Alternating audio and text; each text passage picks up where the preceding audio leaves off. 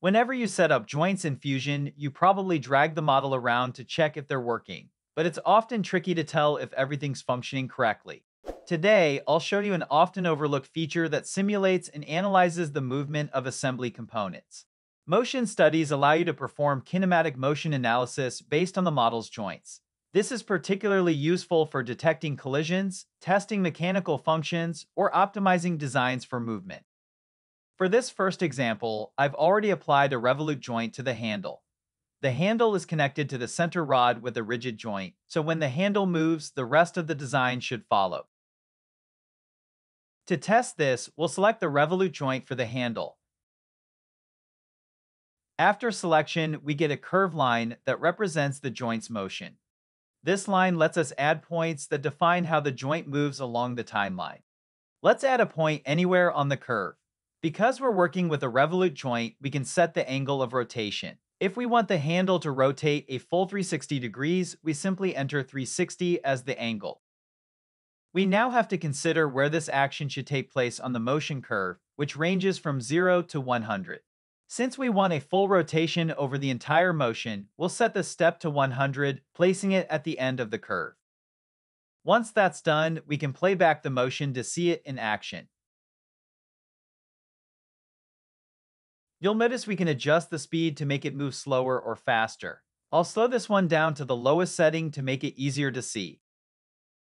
By default, the motion plays through once, but you can loop it infinitely or have it play back and forth, depending on your project needs. I'll set this one to loop infinitely. Looking at the design, you'll see that the far right disc isn't moving properly. It seems like I forgot to apply the tangent relationship between the disc and the dowel which is why it's not functioning correctly. Let's save this motion study by clicking OK so we can fix the issue. In the Assemble dropdown, we'll select Tangent Relationship.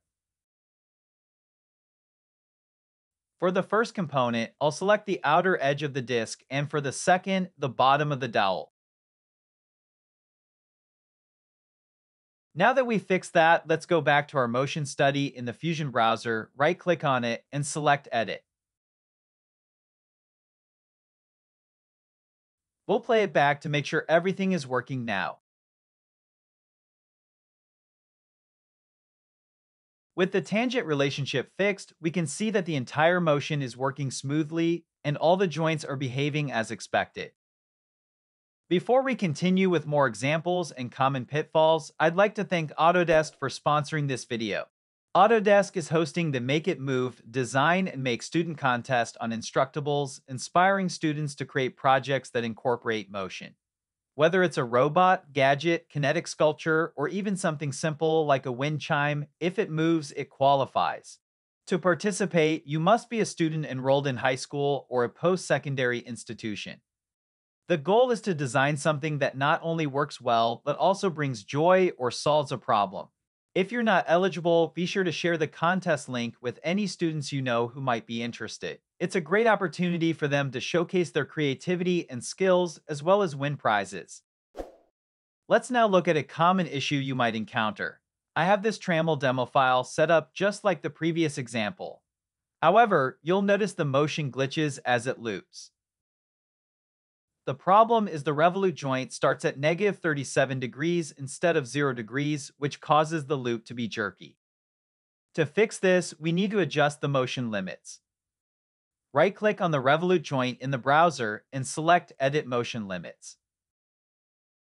Turn on the Rest Position option, which lets you define where the joint should rest when it's not moving. Set this to 0 degrees.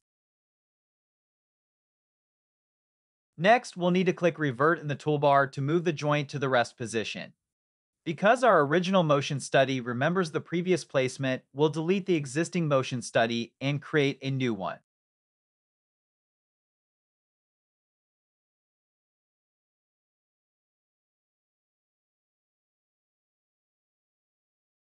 With the new study, the Trammel now loops smoothly without any glitches.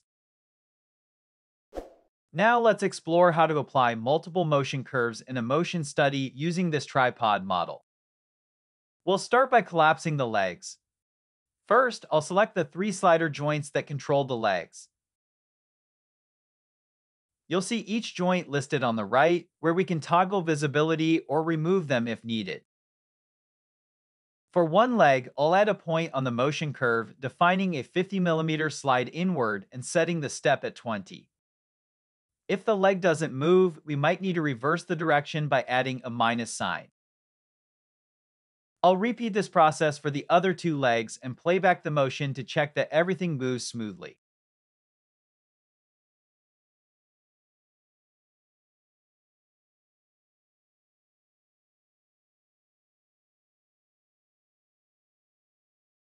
I'll now select each of the three revolute joints on the model.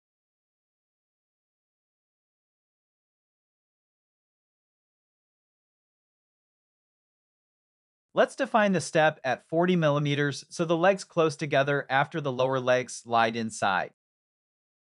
If you happen to click on the curve by accident, you can always remove a point by selecting the remove icon. Based on the joint limits, I know the legs should be straight when they reach 20 degrees. Remember to add a negative sign if the rotation is in the wrong direction. We'll repeat this for the remaining two revolute joints.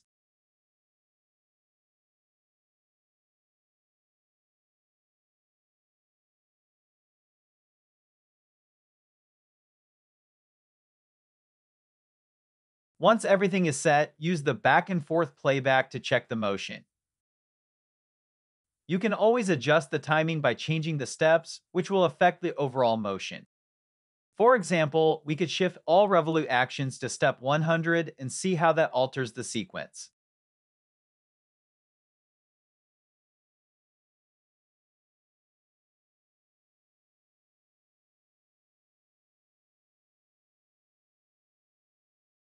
You could also stagger the steps so one leg collapses at a time.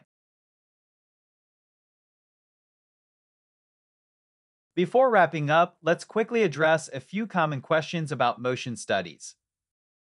The first is how to save a video of the motion study. Unfortunately, Fusion doesn't have a built-in option to export a video.